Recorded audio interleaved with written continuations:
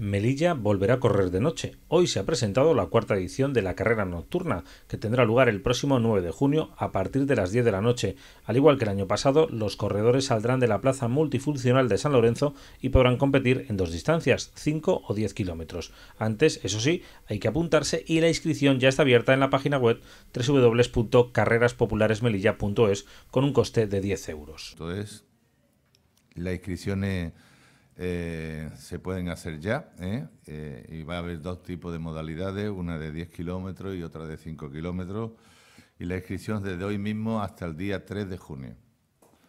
La cuota de inscripción van a ser 10 euros y la entrega de los dorsales lo vamos a hacer el viernes 8 de junio de 17.30 a 21 horas. Los dorsales y la camiseta conmemorativa se entregarán un día antes de la carrera. Será el viernes 8 de junio, de 5 y media de la tarde a 9 de la noche en el Hotel Trit Melilla Puerto.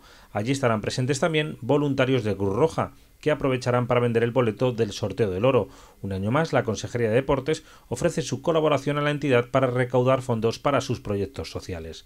En este caso, eh, los fondos, como ya sabéis, no van dirigidos a Cruz Roja, pero bueno, una manera de concienciar a la gente y de incentivar la venta de estos boletos, que como ya sabemos todo va para el, sorteo del oro, que bueno, mm, explico así a, grandes rasgos, pues va dirigido a, mm, a todo lo, para financiar los programas de fondos sociales que tiene Cruz Roja, tales como son ayuda a la infancia, inmigración, mujeres maltratadas, personas mayores, etcétera.